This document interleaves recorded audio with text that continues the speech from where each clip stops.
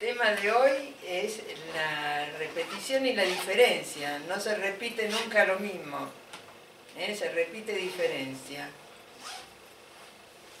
Pero para hablar de la repetición no podemos dejar de hablar del inconsciente. ¿eh? Tanto que algunos autores afirman que el inconsciente es la repetición. Entonces vamos a considerar el inconsciente como toda la teoría lo dice en una primera tópica y en una segunda tópica.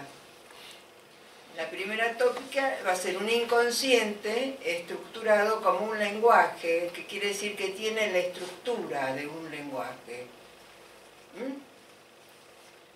que es estructural. Y después tenemos otro inconsciente que es una fuerza vital que nos va a empujar en todas las acciones que realicemos en la vida ¿eh? y que ese inconsciente va a ser un inconsciente pulsional, ¿eh? una fuerza, una energía que nos va a impulsar en todos los actos de nuestra vida. Entonces, si nos preguntamos qué es lo que repite un individuo, podemos decir que lo que repite es algo que ya ha vivido. ¿Eh? Repite lo que ya ha vivido. Es decir, que hay marcas que se van instalando en el aparato psíquico desde una temprana edad y que quedan como este, heridas abiertas para toda la vida, que pulsan y tanto tratan de salir a través del inconsciente estructurado con el lenguaje, que tiene una combinatoria o una articulación con la conciencia, ¿eh? y ahí vamos a tener un tipo de repetición. Eh, la repetición en la conciencia, que llega a la conciencia, va a ser la rememoración o sea, el recuerdo. ¿Mm? Yo repito, pero eh, en la conciencia tengo recuerdos de aquello que vuelve de nuevo a la conciencia. Y por otro lado, tengo también en este primer inconsciente que les he descrito, es decir, articulado con la palabra, el inconsciente que habla, tengo otra repetición que es la repetición de cosas como placenteras. ¿eh? Son repeticiones que no son patológicas. ¿eh? Algunos autores las llaman repeticiones sanas. Y están eh, convocadas por este primer aparato psíquico, que está regido por el principio del placer. El aparato primero que inventa Freud es un aparato formado por tres este, instancias, que son el inconsciente, el preconsciente y la conciencia, que se articulan, hacen un nudo entre ellas. No hay una cosa suelta por un lado y otra por el otro. ¿eh? En esa articulación va a tener una, una, concatenación con la palabra, en tanto la conciencia me va a permitir entender lo que yo les estoy diciendo. ¿eh? Y ustedes me van a entender, esa es la conciencia. Por otro lado está que hay representaciones de esas cosas que se repiten en la conciencia como actos, que no son, insisto, no son dolorosos, ¿eh? son actos placenteros, repito cosas en la, en la historia de mi vida. ¿Y qué es lo que repito? Repito lo que ya pasó, repito lo que ha, sido vivido por mí. Cada cosa vivida por mí ha dejado una marca que es indeleble y que siempre va a resurgir.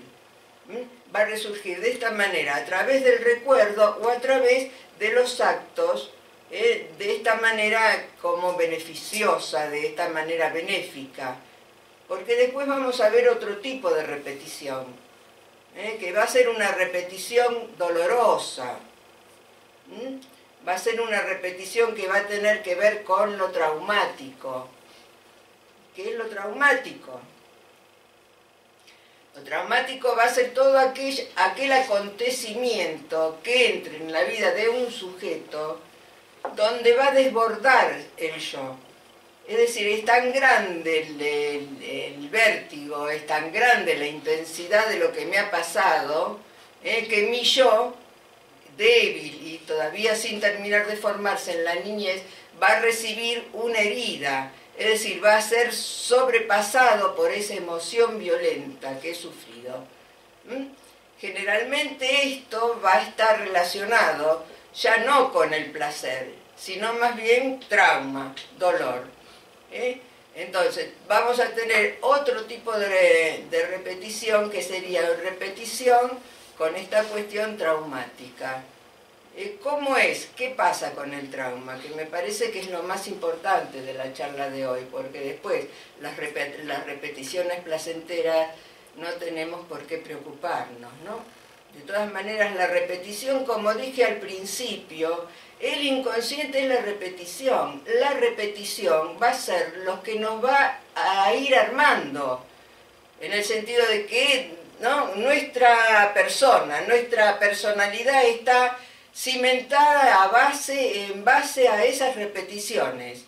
¿Eh? Nuestro yo va a ser como un acúmulo de esas repeticiones. Voy a cambiar con el tiempo. ¿Puedo pensar la repetición como un modelo de aprendizaje entonces? Como un modelo de formación más que de aprendizaje, de formación del yo. ¿Eh? Mi persona se va a formar, o mi personalidad, digamos, de alguna manera, se va a formar en base a esas repeticiones que van dejando marca en mí. Y además yo voy cambiando en cada una de esas repeticiones porque no voy a repetir lo mismo. Cada vez que repito va a haber una diferencia. ¿Eh? Entonces repito pero con diferencia. ¿Y por qué va a haber diferencia? Y porque somos temporales, ¿no? Entonces el tiempo, hay una usura del tiempo el tiempo se mete en nosotros y ya la órbita A no es igual que la Tierra girando en la órbita B, aunque sea la misma, el mismo planeta. ¿No? Entonces yo me voy a ir formando y voy a ir cambiando, sí, voy a ir cambiando, pero algo en mí va a decir, ese soy yo. ¿eh? Y lo voy a encontrar a ese yo, ese soy yo, en cada una de mis repeticiones. Que si bien van a ser diferentes, voy a reconocer en ella siempre lo mismo. Entonces, estas repeticiones que son por un pasaje traumático de la vida, que ha dejado una herida, no es una herida que se cierra, cicatriza y ya está, quedó la marca de una cicatriz, no, es una herida viva, es una herida que late, es una herida que siempre va a querer eh, estar abierta, ¿sí? Entonces ahí eh, se genera este tipo de repetición, que es una repetición que está este, más en relación con el dolor, ¿no? con esa cosa que me sobrepasa, que mi yo todavía constituyéndose es débil y no puede absorber, ¿eh? entonces me desborda y el yo está anonadado por la sorpresa y está anonadado por esta cuestión que yo no tengo representación y que sin embargo me está pasando. Entonces, en esta repetición traumática ya estamos viendo de que es como una emoción violenta, vertiginosa, violenta, inmensa, ¿eh? y esta emoción no puede ser digerida por el yo. Es decir, que el yo no le puede poner ninguna representación. Entonces queda esa emoción o esa energía libre ¿eh? como una bola de fuego que siempre va a insistir por quemar y perforar al yo para que salga en un acto compulsivo. ¿eh? Entonces tenemos la compulsión a la repetición ahí, que va a dar, sí, estructuras clínicas. ¿eh? tiene que ver con las adicciones, tiene que ver con, este, con los juegos, tiene que ver con lo que se repite incesantemente en mí y que me hace daño o me perturba la vida, ¿eh? que son entidades ya psicopatológicas. También está el trastorno obsesivo compulsivo, que es otra compulsión como esta. ¿eh? Son repeticiones que se dan en distintas estructuras, en la drogadicción, que repite, repite y no puede dejar de repetir siempre lo mismo. ¿eh? Está en, en, todo tipo de adicciones. ¿eh? También está en la neurosis obsesiva, en este TOC, que ahora es ¿no? actos compulsivos a repetición. Este, adelante, buenas tardes. Entonces, tenemos que es la emoción violenta, entonces el yo no la puede digerir, no le puede poner una representación. Una representación es no poder nombrarla. El yo, por el exceso del trauma tan fuerte, está anonadado.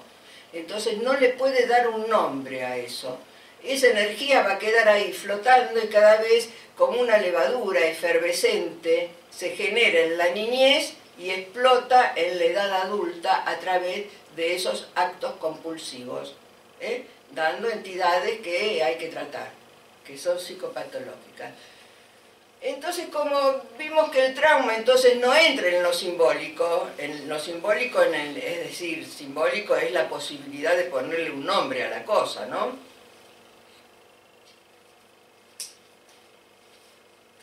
No se la puede nombrar, queda ahí sin nombre, sin representación, que pueda uno nombrarla y hablar de ello. ¿no? Queda ahí en ese magma, esa emoción, esa energía libre, pero esa energía libre que se suscitó en el momento traumático, que no es un solo momento, porque puede haber micros traumas, no quiere decir que pasó una vez y que nunca más, sino que puede haber microtraumas, es decir, en el tiempo se repite y en el tiempo vuelve el maltrato y en el tiempo vuelve el abuso sexual y en el tiempo vuelve, bueno, el abandono de los padres, ¿no? Se repite en el tiempo. Cae en un vacío de palabras, cae en un agujero. ¿No? No, no, no se puede, el yo no la puede nombrar, está anonadado, está, está, que, está inmaduro, no la puede nombrar.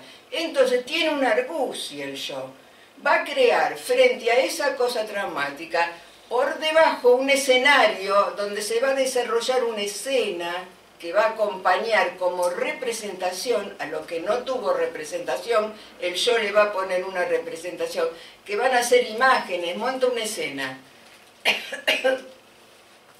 Esas representaciones imaginarias que van a ir a taponar el agujero ese que dejó ese trauma que no pudo ser nombrado, ¿eh? esas representaciones van a constituir lo que en psicoanálisis se llama el fantasma.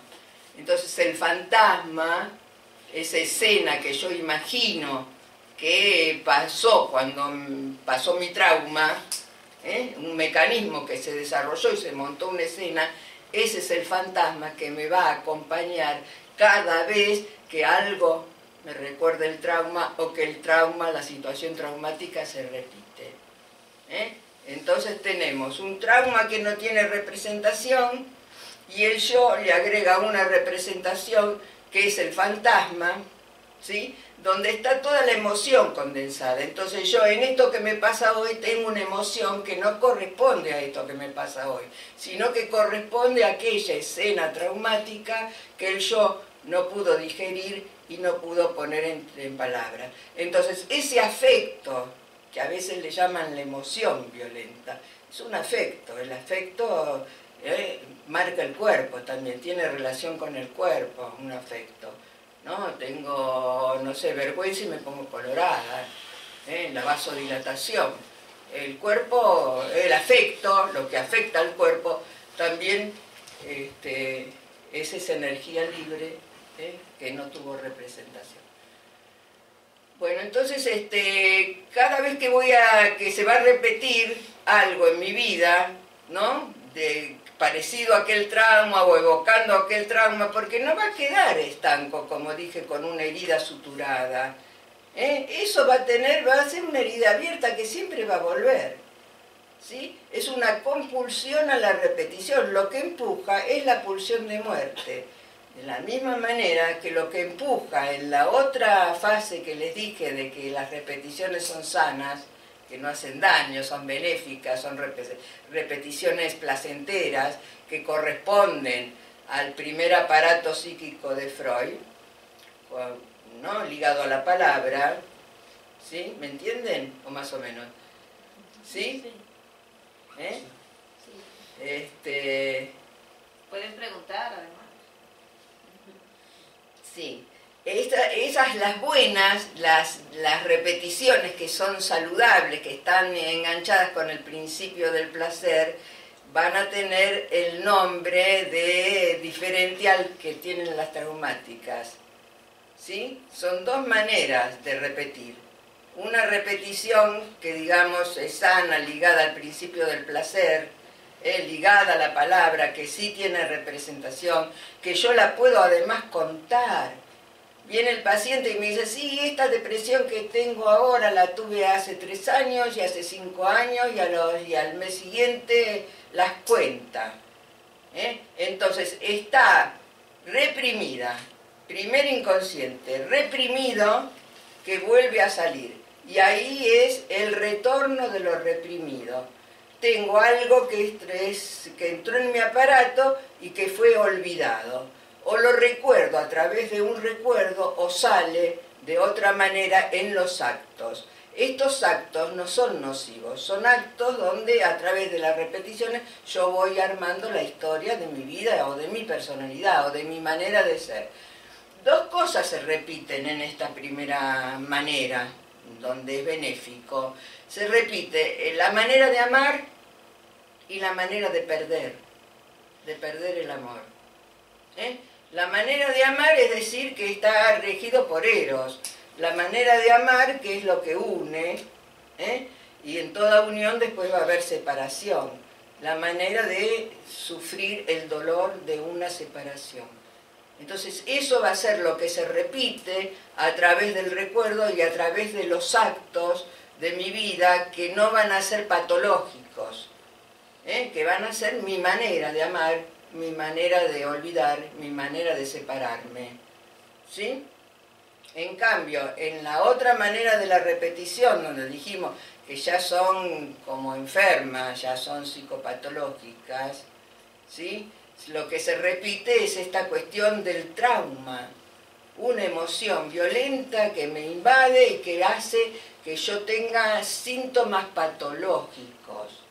Es decir, que haga una adicción, que haga este, una compulsión a la repetición, que repita siempre los fracasos en el colegio, que repita siempre los fracasos en el, en el trabajo, que repita los fracasos en mis relaciones amorosas, y ya me separé tres veces y no sé lo que me pasa, que no puedo sostener una pareja. Bueno, todo eso va a estar regido por la pulsión de muerte. ¿eh? De la misma manera que lo otro que se daba en el, en el inconsciente ligado a la palabra, digamos, ¿eh? estaba regido por la pulsión de vida. Entonces ya tenemos pulsión de vida que me manda a amar y a separarme de lo amado, ¿no? Pulsión de vida para seguir viviendo, porque si me fundo con el otro, me liquidé. Me liquidé en el sentido de que no soy yo, soy el otro. Estoy fundido en el otro. ¿eh? Entonces, hay, hay amor y hay separación. ¿eh? Es un rombo. ¿eh? un, así, un amor, una unión y una separación. ¿Sí? Eso hace que la vida siga funcionando, regida por este principio del placer y por la pulsión de vida. En cambio, la otra separación está regida por la pulsión de muerte. ¿eh? Esa masa que quedó amorfa, este, incandescente, violenta, er, rígida, que no quiere ser nombrada, que no quiere entrar en lo simbólico, todo eso va a seguir como fermentándose, agrandándose a través de los años, ¿eh? porque generalmente los traumas son infantiles, ¿eh? repito mi, mi, pasado, pero todo quedó grabado en la infancia. Entonces en la infancia quedó grabado y después viene un periodo de latencia, es decir, se durmió, el niño entró con las matemáticas, con los videojuegos, con esto, hizo inteligente, escribió poesía, fue al colegio, hizo deporte, ¿no? Y toda esa sexualidad infantil quedó adormecida, ¿no? Pero resurge después cuando es adulto. Regido por la pulsión de muerte, resurge como actos compulsivos. ¿eh? como actos que son catalogados psicopatológicamente, que quiere decir que son tratables, que entran dentro de la patología, que son tratables. Entonces, dos maneras...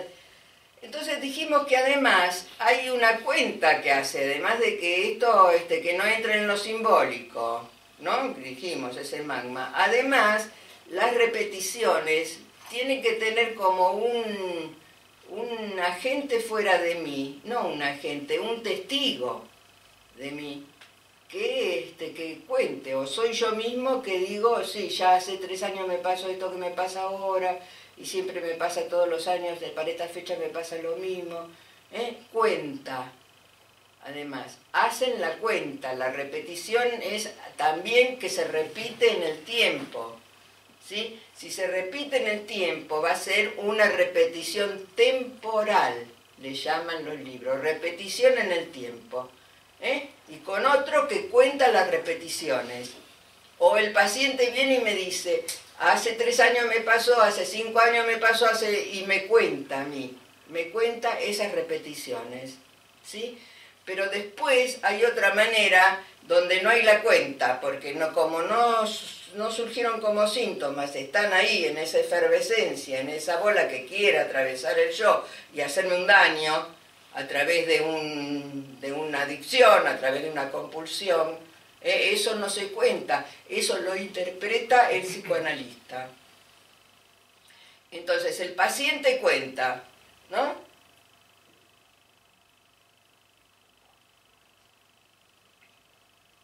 Lo traumático que esté enganchado a la palabra, que es el primer eh, aparato ¿no? Eh, psíquico, inconsciente, preconsciente, donde está la asociación libre, las palabras que ligan la energía libre a una palabra, ¿no? y está la conciencia también. Entonces, ¿por dónde iba? Que me he perdido. Bueno, y entonces la, otra manera, la otra manera regida por la pulsión de muerte, no cuenta, no sabe lo que le pasa. Es interpretable por el psicoanalista que le dice, acá usted repitió ese fantasma o esa representación que vino a tapar aquel agujero, ¿no? donde fue eh, en exceso el trauma, ¿no? lo anonadó, lo dejó que no se dio cuenta de nada. Entonces va a venir a repetirse la frase fantasmática o aquel fantasma. Entonces tenemos la repetición temporal que se puede contar en el tiempo y tenemos la otra representación que se llama repetición tópica del lugar, donde lo que se repite es el fantasma. Y el fantasma es todo lo que hizo mi yo para defenderse de esa bola de fuego, digamos. ¿no? Ponerles representaciones. Entonces imaginarizó una escena donde se jugaba. ¿Eh? Les digo una frase que dice el doctor Menaza acá todo el tiempo, que dice, yo no salgo a la calle, viene una paciente y dice, yo no salgo a la calle porque tengo miedo de ser violada. ¿No? Frase fantasmática.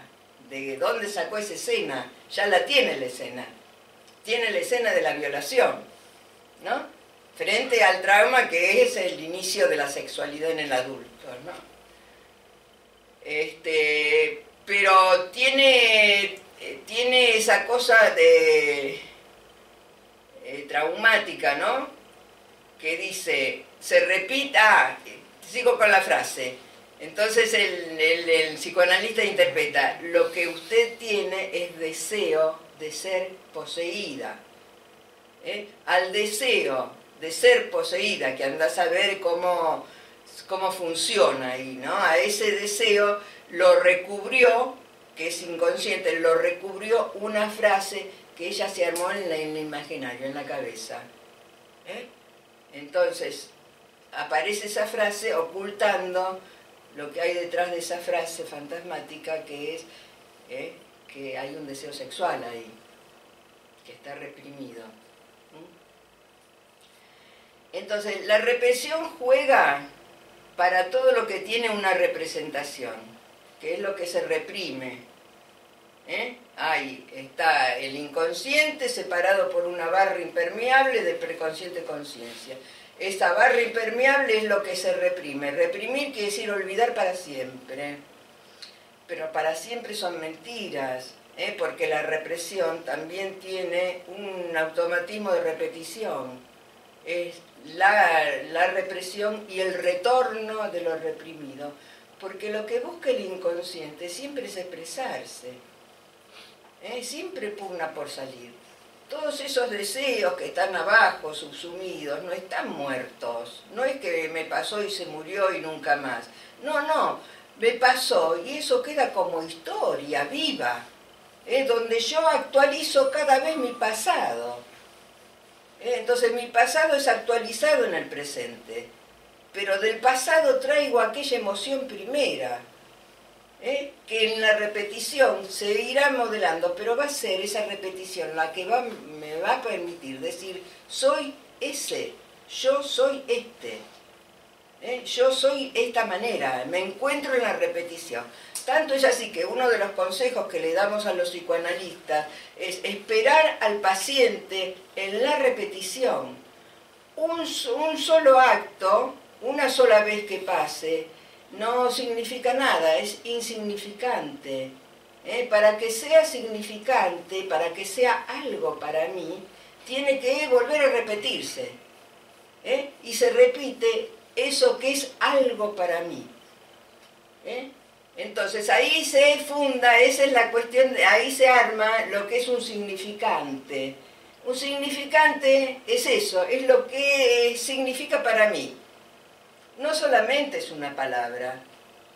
Esto, para mí, es significante. ¿Eh? Este acto, esta, esta aula, ¿eh? para mí es significante. Entonces son también actos, no solamente palabras los significantes. ¿Eh? Y la característica que tiene el significante es que también se repite. Un significante solo no significa nada. Las leyes del significante dicen que es un significante para otro, para otro, para otro. ¿eh? Es decir, yo para ti soy algo que significo, pero tú eres para ella y ella es para ella. Y, ¿eh? y se va repitiendo esa cosa significante de que es algo para mí. ¿Eh? Y ahí me voy armando otra vez, ¿no? Todo, todo, toda mi historia personal se va armando con eso. Bueno, el fantasma ya vimos entonces lo que es, y ahora vemos lo que es un significante también, ¿no? Esto, que es eso que significa para mí, que también entra en la cuenta, se cuenta el significante. Un significante solo es un accidente, o es un, acto aislado, o es un terremoto, por ejemplo, que lo tenemos que meter en el otro lado, de lo que todavía no se puede nombrar. Viene un terremoto en este momento y nos quedamos todos anonadados. ¿eh? con esa emoción que es muy intensa y que mi yo no puede, no puede abarcar porque yo no tengo representación de que la Tierra se mueve, nunca me pasó, entonces me quedo anonadada. ¿eh? Entonces eso que no tiene representación queda flotando ahí como una energía libre que siempre va a buscar una salida atravesando mi yo y haciéndome hacer un acto compulsivo. Y ese, eh, perdón, y ese acto, mm, cuando queda ese, esa energía por ahí que tiende a, salir, ¿ese acto siempre es, negativo? O, puede ser que sea bueno para mí o al contrario? No, ya dije, es negativo cuando está guiado por la pulsión de muerte que daña, que me detiene. ¿eh? En ese otro tipo de repetición de lo que no se puede nombrar. Que, pero si yo le pongo una palabra o si yo interpreto en análisis, si yo le pongo una palabra a eso que es esa compulsión, ya esa compulsión va cediendo y va pudiendo ser nombrada. Es decir, vamos a ir a investigar cuál fue el trauma infantil que lo dejó marcado para siempre, con una herida abierta que siempre vuelve a resurgir ¿eh? y que resurge en todos los actos de mi vida no sé por qué me casé siete veces, no sé por qué fracaso en el estudio, no sé por qué cada vez que triunfo me viene la depresión, no sé por qué mis brotes depresivos se van repitiendo en el tiempo. ¿eh? Todo eso se debe a ese trauma exageradamente fuerte que sucedió en la infancia, donde el yo, que todavía es débil en la infancia, todavía no está formado, no pudo responder poniéndole una palabra, quedó desmayado, anonadado. ¿Mm?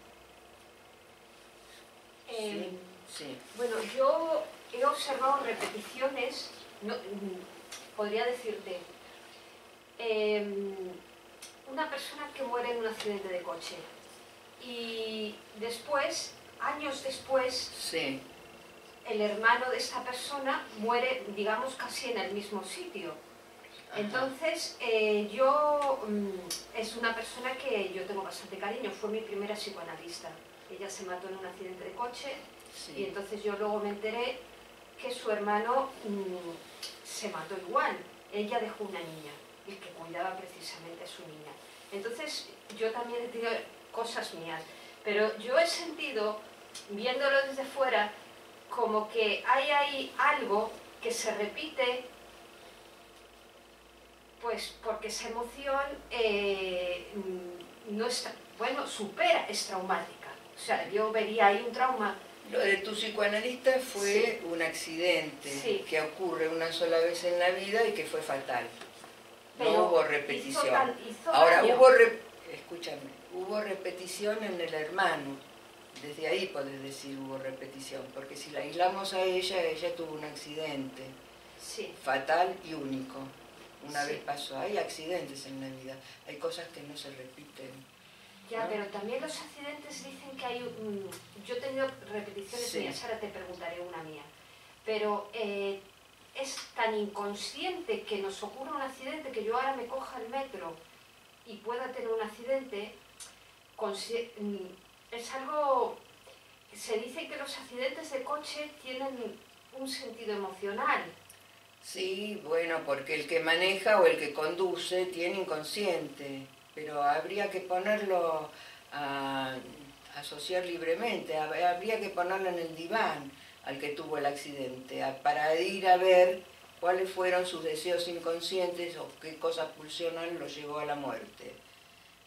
Ahora yo digo, la primera vez que pasó a la señora y con la muerte fue una cosa donde tú te planteas la repetición, es por qué el hermano se muere eh, del mismo accidente en el mismo lugar. Bueno, y el ¿Qué se padre de la niña que dejó, es que también me llama la atención porque dejó una niña pequeña.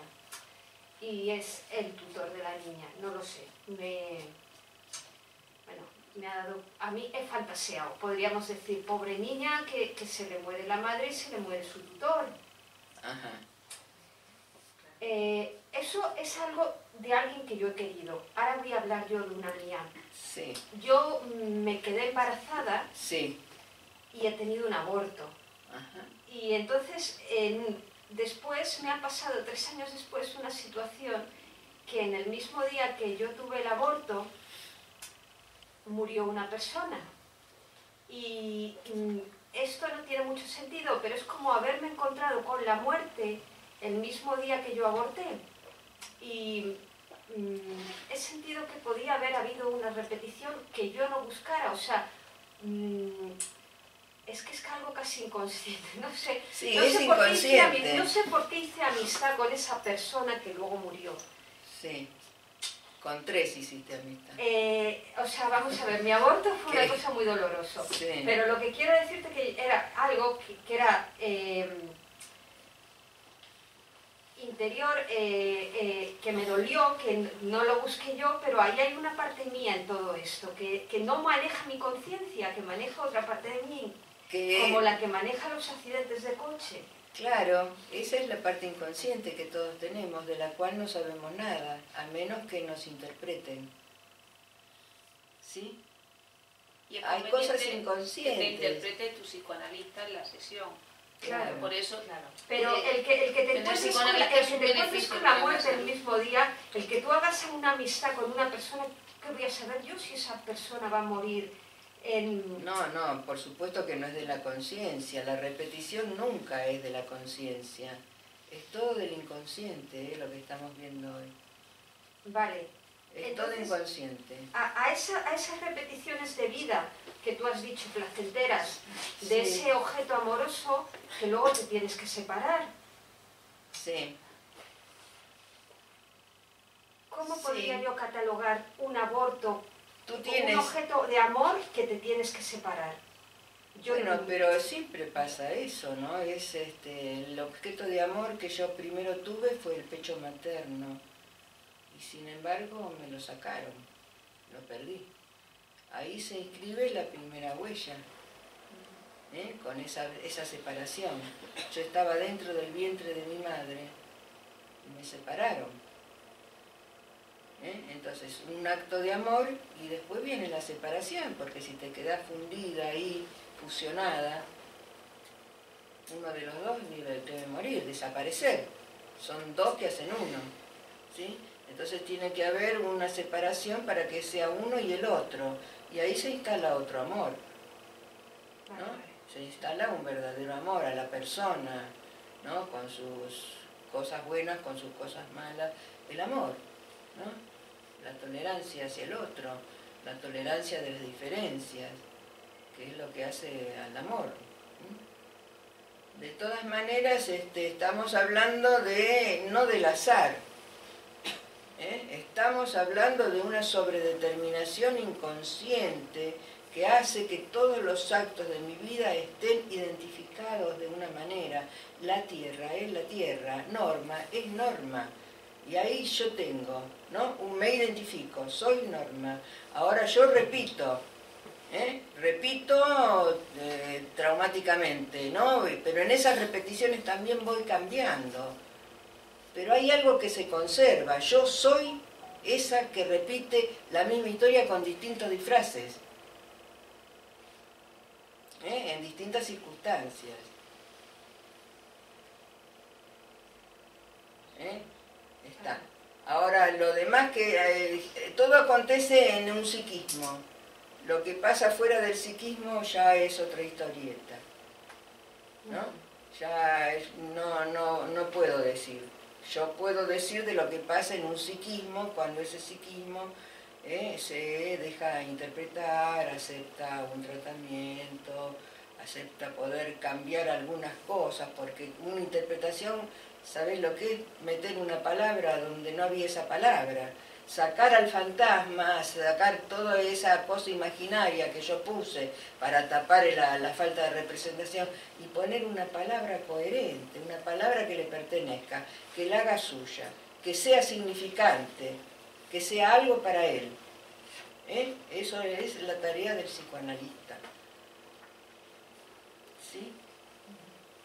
Entonces, este, ¿por dónde vamos? Que íbamos que se necesitaba también contar, que haya repetición, que haya una cuenta, ¿no? Que puede ser el mismo, puede ser otra persona. Y habíamos dicho que las primeras repeticiones, porque repetimos todo el día, el sol gira alrededor de la tierra continuamente, yo como todos los días, yo me lavo los dientes todos los días, yo repito todos los, todo, somos repetición.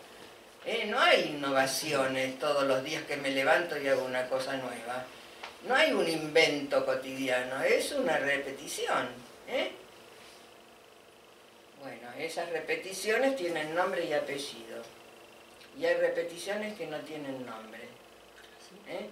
Las repeticiones que tienen nombre y apellido, bueno, pertenecen ya a un discurso donde está unido la emoción o el afecto, está unido con la palabra. Entonces yo la puedo nombrar. Hace tres meses me pasó esto, hace, cinco años me pasó lo mismo, yo lo cuento. Pero hay otras cosas que no están ligadas, o emociones muy fuertes, o afectos. Emoción es un afecto que también toca el cuerpo. ¿eh? Es un afecto que no tiene palabras, entonces sale mal. Sale con síntomas, sale con enfermedad, sale con ¿eh? con actos compulsivos. Es una repetición que está guiada por una pulsión que me lleva a lo inanimado, a destruirme, a otra vez volver al principio antes de nacer, que yo no era. ¿Eh? La pulsión de muerte me lleva ahí, donde yo no voy a ser más si me muero. ¿No? Es como volver a, lo inanimado del principio. La pulsión de muerte. En cambio, la pulsión de vida es el placer. Freud lo describe muy bien porque toda, toda la primera parte de su teoría está regida por el principio del placer, que quiere decir que si hay una excitación muy grande, la descargo para que esté en equilibrio y yo esté en paz. ¿No? Ese sería el principio del placer, para que no haya picos. ¿eh? Enseguida entra en homeostasis. Ese es el primer aparato psíquico ese que está ligado a la palabra. Y después, como vio que había cosas que no, podía solucionar, que no tenían nombre y apellido, ¿eh? se pone a escribir que hay una segunda tópica donde está el hombre lleno de pulsiones, hay un caldero de pulsiones en el hombre. Ese caldero de pulsiones tiene, si está, está eh, analizado, vuelca esa pulsión ¿eh? para ponerla en palabras y mandarla a hacer una cosa placentera.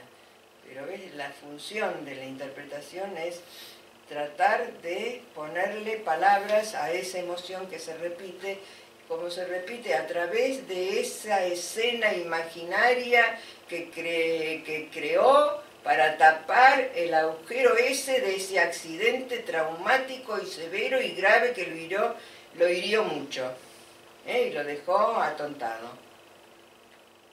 Y ese, y, ese, hecho, traumático tan importante, eh, que la persona tiene necesidad de taparlo y crear un fantasma, mm, ¿siempre realmente es importante? Mm, ¿O puede suceder? Si está vivo es importante porque te hace actuar. Si está vivo, si eso no está ligado no está, ¿no? La cura sería ligar esa, eso que no tiene palabra a una palabra, empezar a ponerle, a ponerle nombre y apellido y poder contarlo. ¿Sí?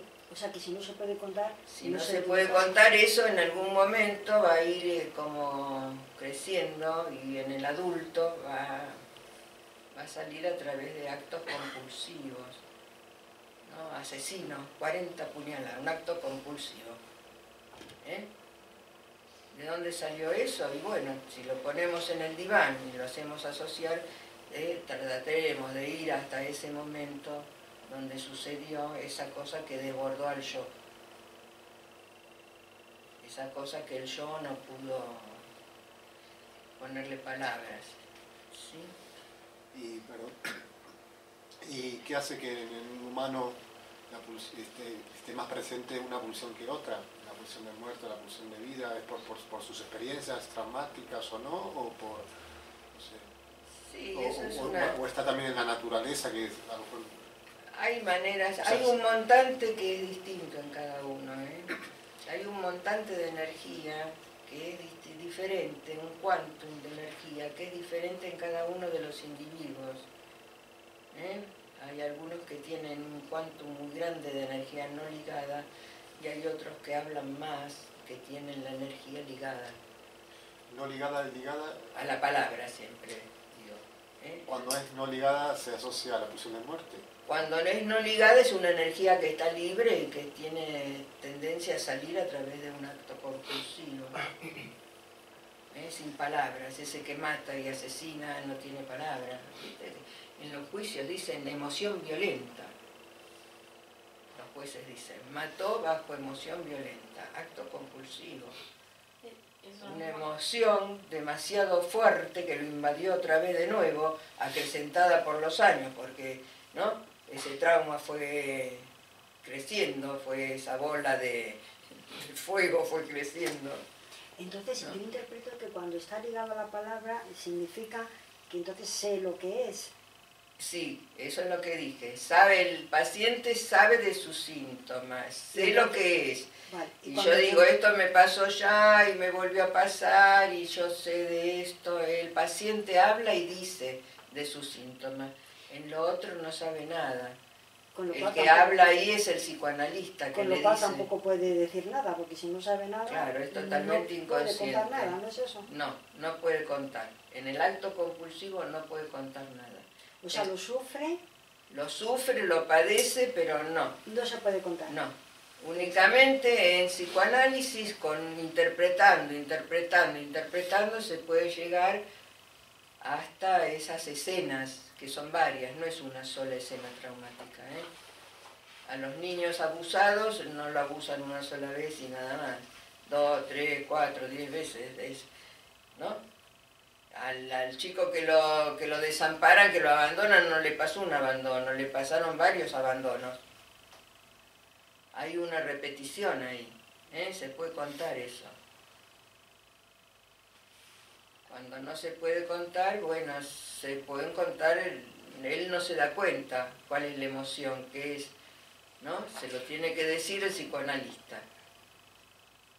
El paciente habla de la, habla, pero después llega un momento en que el que tiene que hablar es el psicoanalista, porque él no sabe, es inconsciente ese teatro que se armó, esa escena ¿eh? fantasmática que se armó. Pero el psicoanalista que tiene herramientas de trabajo idóneas, que ha estudiado mucho.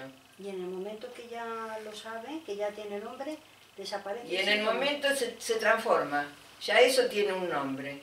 ¿eh? y ya se transforma, y ya se mete en un camino donde, bueno, es el camino de las transformaciones, ¿no? no sé si va a desaparecer totalmente, pero va a estar dominado. ¿Eh?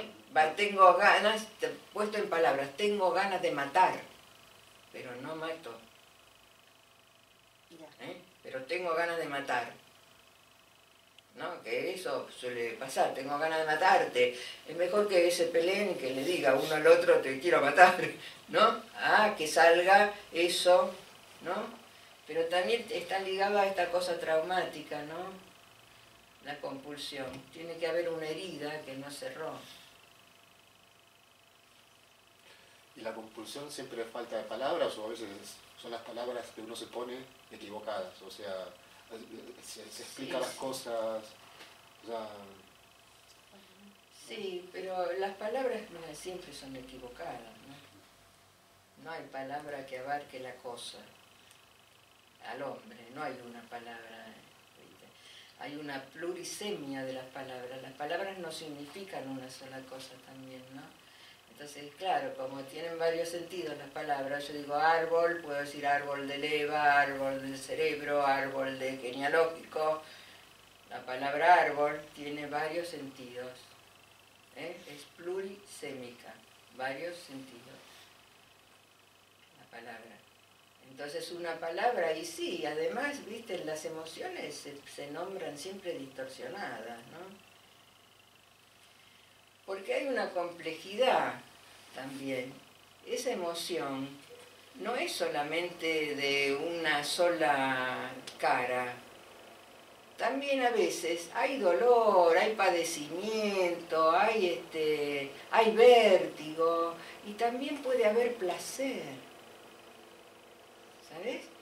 También puede haber placer en el asesino, en el, acto compulsivo. Hay un placer también, entonces ya está todo más complejizado. pasa como con el amor, el amor puro, no lo hay. Es ambivalente, es amor y odio, juntos. ¿No? A veces lo amo y por esto lo quiero odiar, lo quiero matar Entonces, no hay, ahí se introduce la tolerancia. ¿eh? Tolerar que el otro es tan humano como yo y a veces yo lo quiero matar, pero otras veces él me debe querer matar a mí, porque yo no me veo, pero él me ve, él me cuenta. Una, otra, otra, otra, termina conociéndome, ¿no? Él me cuenta. Entonces, no, no hay una perfección ni una pureza. Los sentimientos son todos ambivalentes. Están mezclados. Una micción. Lo mismo pasa con la pulsión. Por eso te decía, ¿no? Que hasta a veces hay placer. No es solamente el odio, no es solamente la pulsión de muerte. A veces hay un placer en eso. Entonces las cosas se van complejizando. Bueno, ¿alguna otra pregunta?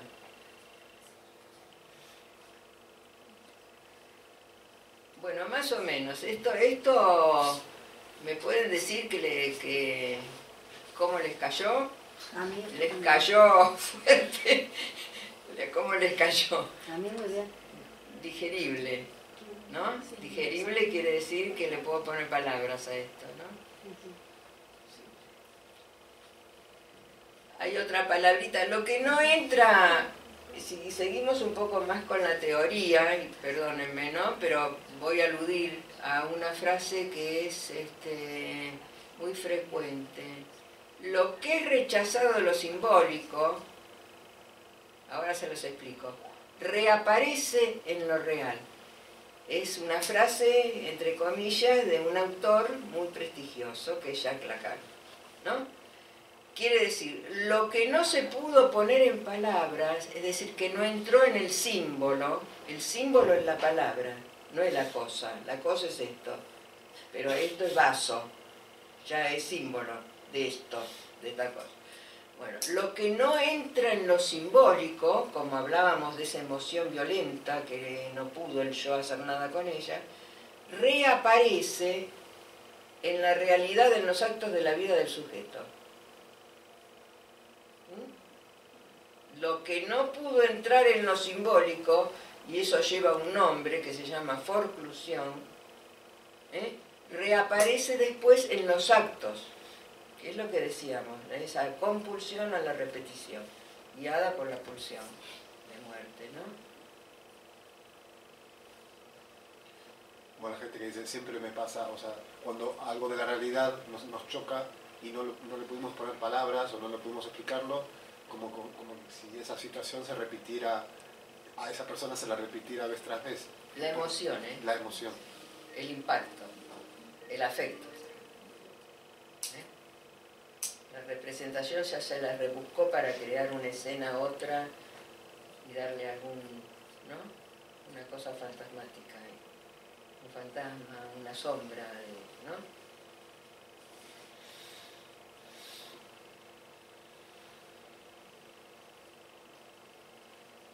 Bueno. ¿Qué hacemos?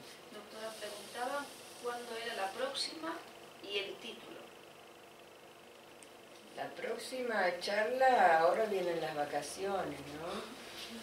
El enero, el primer, el segundo lunes es día 8. Y después de Reyes es... Ese justo es después de Reyes. ¿Y el otro? El otro es 15. Bueno, el 15. El 15. Porque sí, con Reyes ¿viste? me entretengo con los regalitos. ¿Y qué título?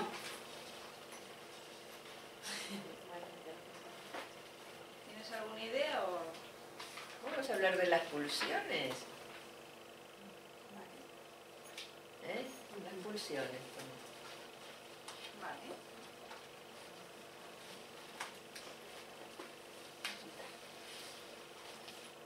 Bueno, ¿tienen alguna pregunta para hacerme o están. Bueno, no, me quedé pensando en la cuestión si determina esa escena penosa del pasado, además de todo lo que has dicho, una determinada y única estructura o mezcla de estructuras. Por ejemplo, a mí me viene a la mente la melancolía. La melancolía Sí. en este país no se trata ni se reconoce a no ser que te psicoanalices. Son depresiones, se ha muerto alguien, se ha muerto una hermana pequeña, te han transmitido la- el, el duelo, lo negro, años, y aprendes a ser un triste. Con medicación y tal, todo se arregla. Mentira. Entonces me parece que es importantísimo ¿no? que la gente tenga cada vez más cultura psicoanalítica, aunque no se psicoanalice, ya lo decidirá o no. Pero es muy importante porque la Sí, melancolía no se ha muerto nadie. Y hay los mismos síntomas que en la depresión, que sí se ha muerto alguien. O has perdido la casa en un desahucio, o te ha quedado un paro, O digamos, se situaciones críticas. ¿no? Sí, o se quedan sin comer en la cama los melancólicos y se mueren. Eso se ve en el hospital, ¿no? Pero este, sí, yo creo que tienen que empezar a hablar un poquito de psicoanálisis en la población, ¿no? Hablar de psicoanálisis, darse cuenta que hay motivación, motivos inconscientes, que uno no es el rey de uno. No es nada rey, porque, viste, viene el inconsciente y te manda a hacer algo que vos ni sabés de lo que se trata. ¿eh? que hay inconsciente.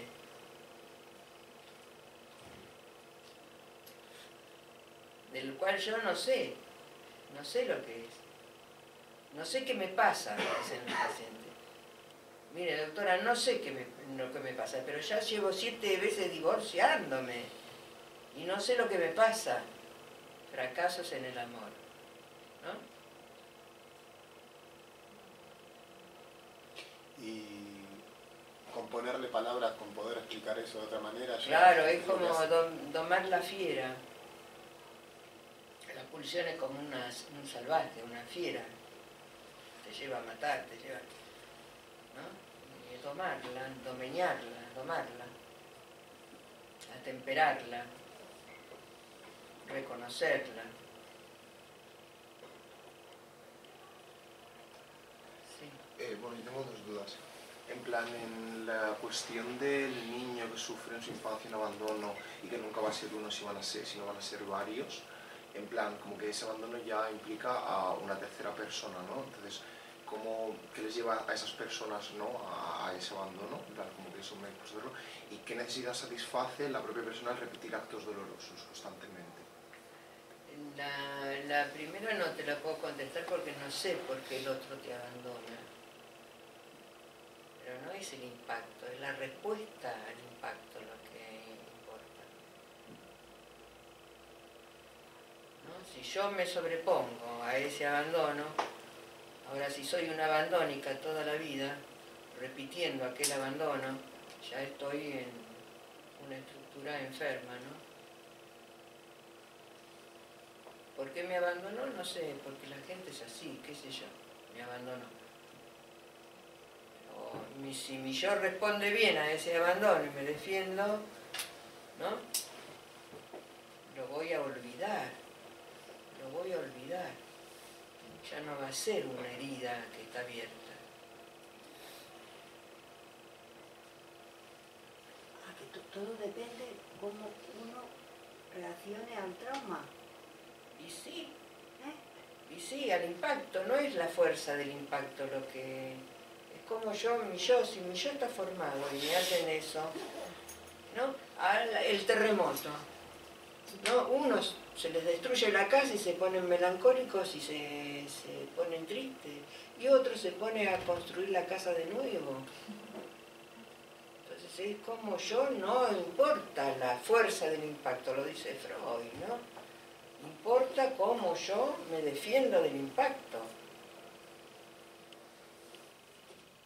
O sea que yo, por El ejemplo, arquero, ¿cómo se llama acá? Este, el portero. Es la defensa del impacto, así.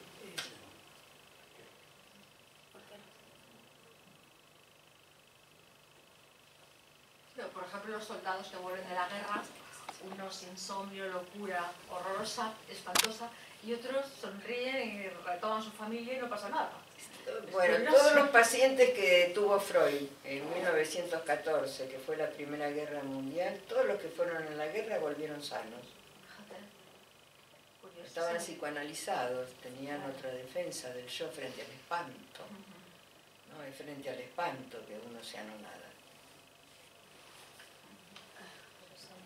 Los que fueron a la guerra volvieron sanos. Sí. Los pacientes de Freud, Ah, pacientes de Freud. los pacientes de Freud que estaban en psicoanálisis, fueron a la guerra y volvieron todos sanos vivos. Claro, los que volvieron, volvieron vivos. Claro. No, no, pero sus pacientes Volvieron. volvieron todos vivos. Que él dice que como frente a toda la muerte que se produjo, él le llama la atención que de todos sus pacientes ese deseo de vida que habían construido en su análisis, ¿no? de sobreponerse Claro. también a, a las circunstancias de la guerra, que podrían haber muerto. Sí, pero más, más bien es una casualidad, ¿no? No, Resiliencia. No, no, eso no, no. Eso, hay un concepto ahora, resiliencia, que es más antiguo que la, que la naranjada. Pero lo han sacado ahora. Resiliencia es la capacidad de reaccionar frente al impacto. ¿no? Si estoy fuerte, tengo otras palabras en la cabeza, no voy a quedarme anonadada, tengo defensas, ¿no? Del impacto lo voy a sufrir, pero me voy a levantar. Que las cosas no Tengo pasan por casualidad. Pasan siempre en resultado de un trabajo. Luego hay que interpretar cómo ha sucedido. Hay que reconstruir porque ha- se ha producido ese resultado. Pero Ya, pero en una guerra más bien es cuestión de suerte, ¿no? Que no hayas muerto. Mayormente, pienso, ¿no? bueno, si lo vemos desde el punto de vista optimista es una suerte. Claro. Bueno, buenas tardes, muchas gracias. Gracias. La próxima, el 15 de enero, las funciones. Deje- Dejen el mail, así les mandamos un papelito? recordatorio. A mí también me llega. Te llega todo, vale. ¿Usted es la primera vez